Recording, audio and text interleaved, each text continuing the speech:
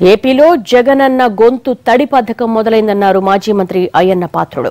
పేదల కడుపు కొట్టడానికి భారీగా ధరలకు మద్యం అమ్ముతున్నారని ఆగ్రహం వ్యక్తం చేశారు ఆయన.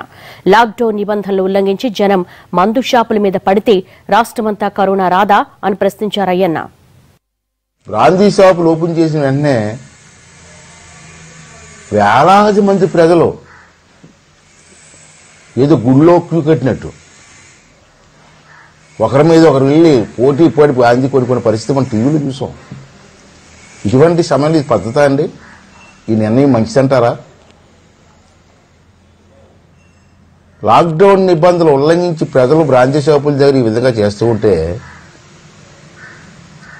ఒకరి ద్వారా ఒకరికి కరోనా వ్యాధి వచ్చి రాష్ట్రం అంతా వ్యాధి వ్యాపిస్తే ప్రజల ప్రాణాలు ఏమవుతాయండి? అంటే మీ ప్రజల ప్రాణాలతో చెలగాటపడుతున్నారా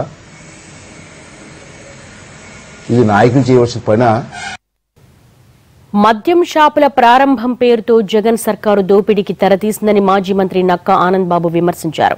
మద్యం షాపుల దగ్గర క్యూలైన్లను టీడీపీకి ఆపాదించడం దిగజారుడుతనానికి పరాకాష్టన్నారు కేంద్రం మద్యానికి గ్రీన్ సిగ్నల్ ఇచ్చిందనే సాకుతో విపరీతంగా ధరలు పెంచి అమ్ముతున్నారని మండిపడ్డారు నక్కా. కేంద్ర ప్రభుత్వం మద్యం అమ్మకాలకు అనుమతి ఇచ్చింది కదా అని చెప్పి బార్లా తెరిచేసి నలభై ఎనిమిది గంటల్లో రెండు సార్లు మద్యం ధరలు విపరీతంగా ఇవాళ సెవెంటీ ఫైవ్ పర్సెంట్ ఉన్న పడంగా మద్యం ధరలు పెంచేసి ఇవాళ పేదవాళ్ళ బతుకులతో ఆటలాడుకుంటున్నటువంటి ప్రభుత్వాన్ని భారతదేశంలో మొట్టమొదటిసారిగా ఆంధ్రప్రదేశ్ రాష్ట్రంలో చూస్తా ఉన్నాం. జగన్మోహన్ రెడ్డి